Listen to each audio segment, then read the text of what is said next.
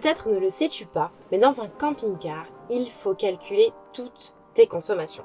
Ton essence, bien évidemment, pour ne pas rester bloqué sur le bord de la route, ton poids, pour ne pas trop consommer, l'eau que tu vas transporter, mais il y a une chose que tu dois calculer plus que tout lorsque tu es digital nomade et que tu travailles au quotidien sur des ordinateurs.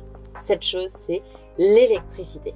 Dans cette vidéo, nous allons te montrer notre installation électrique, les différents appareils qui la composent, mais aussi te présenter MyShop Solaire, la société qui va nous donner toute l'énergie pour pouvoir te proposer des vidéos et des lives à travers toute la France.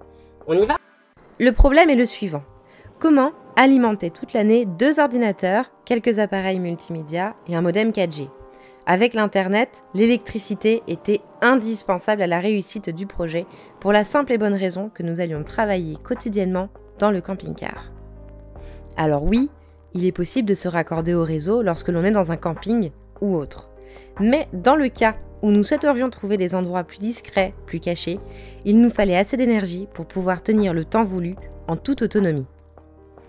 Alors nous avons commencé à nous renseigner par rapport à la taille du toit, la puissance des panneaux, la capacité de la batterie, les différents appareils pour recharger cette dernière, et nous avions comparé, et nous sommes tombés sur MyShop Solaire. Sont ceux qui utilisent déjà leur matériel. Greg's Way, Voyage Voyage ou encore Justine Van Collen. Ce sont des voyageurs digital nomades dont nous suivions leurs aventures sur YouTube et leur matériel semblait plutôt bien marcher. Il ne restait plus commander. On a reçu les panneaux solaires de chez My Shop Solaire. Donc là, il y a le camion qui est là. Donc on va euh, réceptionner la livraison des panneaux solaires. On est trop content, l'excitation est vraiment à son comble. L'aventure va pouvoir commencer et va pouvoir prendre forme. voilà les panneaux solaires.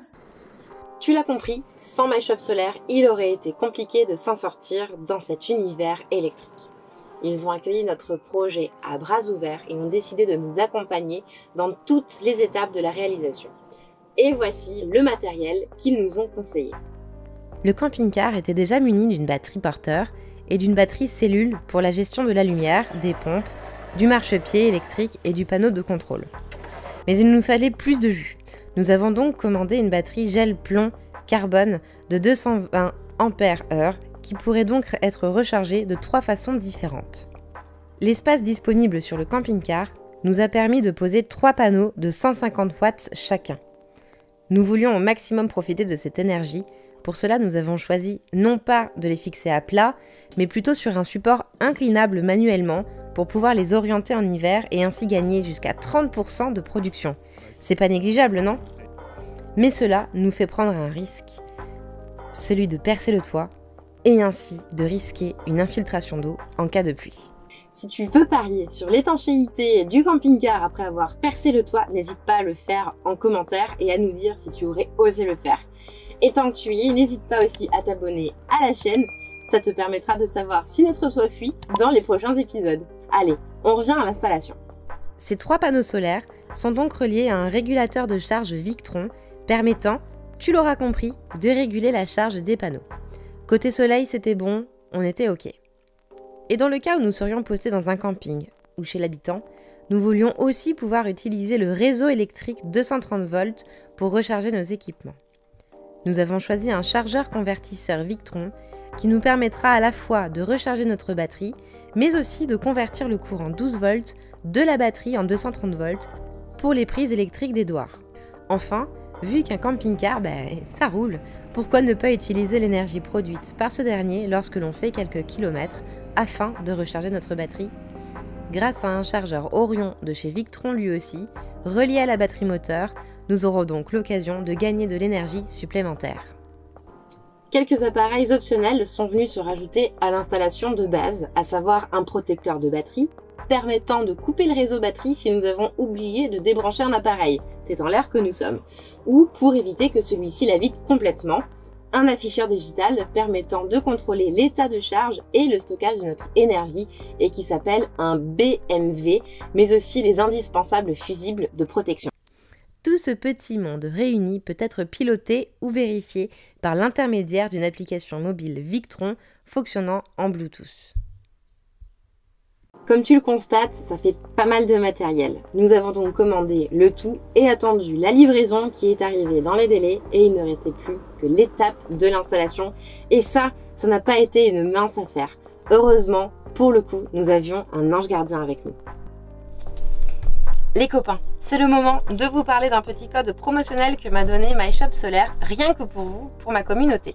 Ce code, c'est le code CARO5. Et oui, CARO5 pour 5% de réduction sur tout le site internet de MyShop Solaire en cas de besoin. Si vous aussi, vous avez envie d'être totalement autonome en électricité, n'hésitez pas à utiliser ce petit code que vous retrouverez en description de la, en description de la vidéo. Voilà, donc moi je serai vous, je n'attendrai pas et je filerai tout de suite utiliser mon petit code promotionnel. Pour l'installation, nous avons eu le droit à l'aide inestimable d'Alexandre, le frère de Xavier.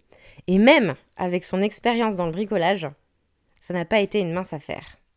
Alors donc là ça y est on passe enfin à l'étape tant attendue c'est de poser les panneaux solaires. De prendre toutes les mesures ils ont déjà fait euh, une pré-pose en fait des panneaux solaires pour faire des marquages euh, sur le toit pour pouvoir savoir où est-ce qu'ils vont visser faire les trous donc bah là, c'est à mon tour c'est moi qui vais rentrer en scène je vais nettoyer donc le toit euh, du camping-car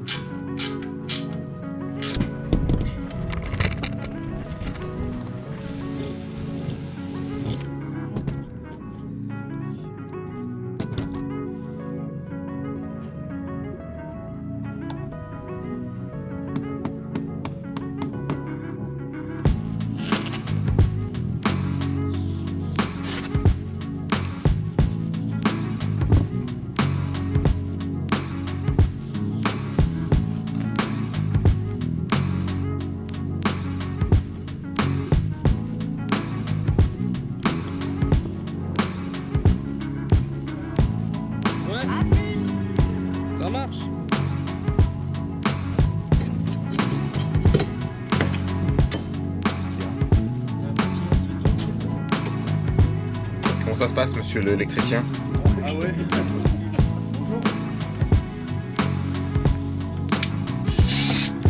Vraiment top quoi, le travail propre et ça franchement merci euh, merci euh, à Alex le beau-frère parce que franchement sinon je crois que je crois que ça aurait été compliqué.